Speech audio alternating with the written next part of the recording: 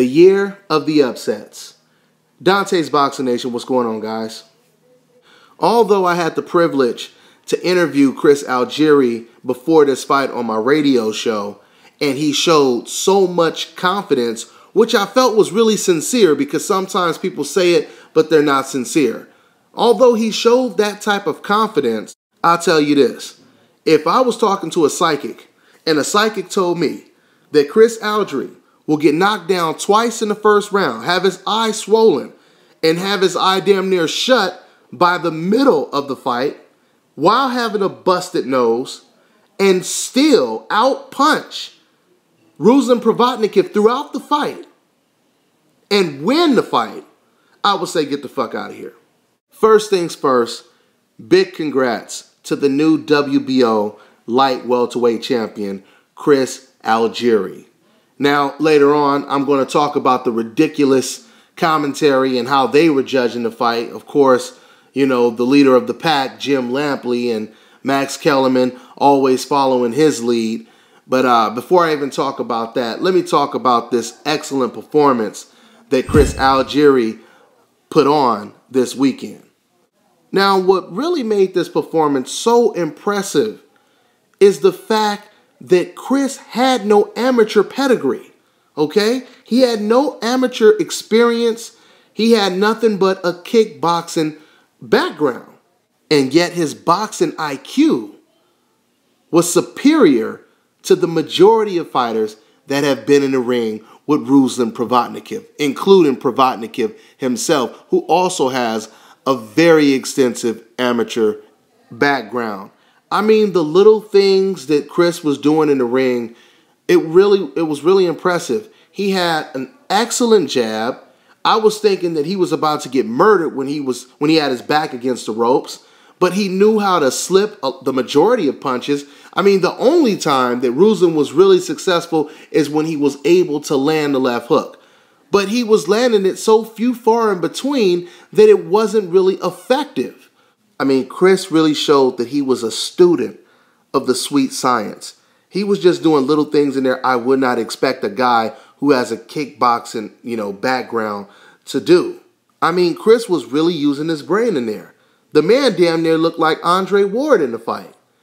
I mean, he would do little subtle things that I really like. Like, for example, when Ruslan Provodnikov got close to him and when Chris kind of felt his back getting close to the ropes, what he would do is he would dip in and he would smother Ruslan Provodnikov, but then catch him with a quick uppercut and maybe a left hook to the body, and then he would get back out and go back to his jab. You know, he was doing a lot of impressive things. As the fight progressed, he started to find a home with the left hooks to the body.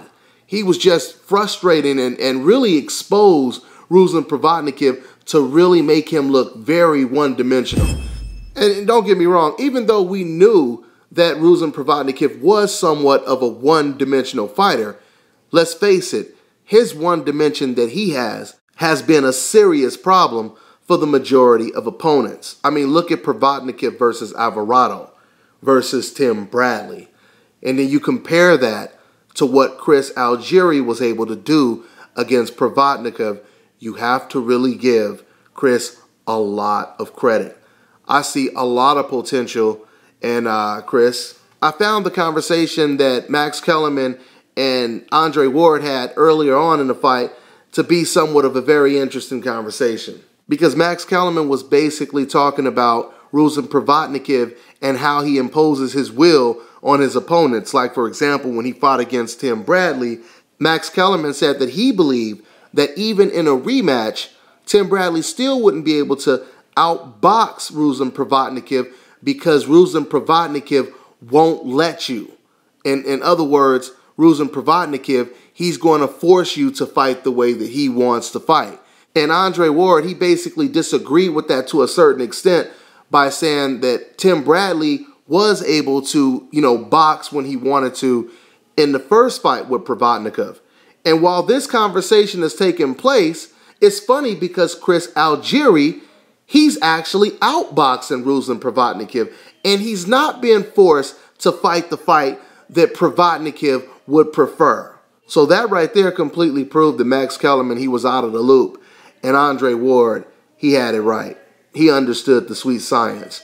You know, that's why I like the fact that Andre Ward is there. I don't know how long it's going to last, but it's very hard, once again, to to work next to someone like a Jim Lampley and a Max Kellerman because eventually you become hypnotized or you almost feel like you're doing something wrong if you disagree with Jim Lampley, especially when it's Jim Lampley and Max Kellerman together.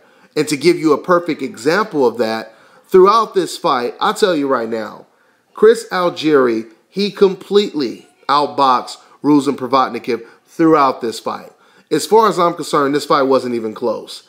I would say being generous, being really generous, you could have gave uh, Provodnikov about four rounds, but no more than four rounds. But throughout the fight, if you listen to Jim Lampley and Max Kellerman, they were making it seem like it was a complete blowout.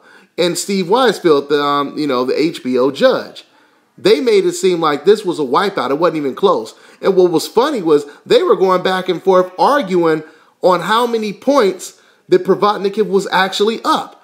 I thought it was absurd. I thought the majority of the HBO commentating team was divorced from reality throughout that fight. The only people that actually understood and got it were Ruslan Provodnikov's own trainer, Freddie Roach, and of course, Andre Ward. Freddie Roach, he's constantly telling uh, Ruslan Provodnikov later on in the fight, you're losing this fight, and you need a knockout to win.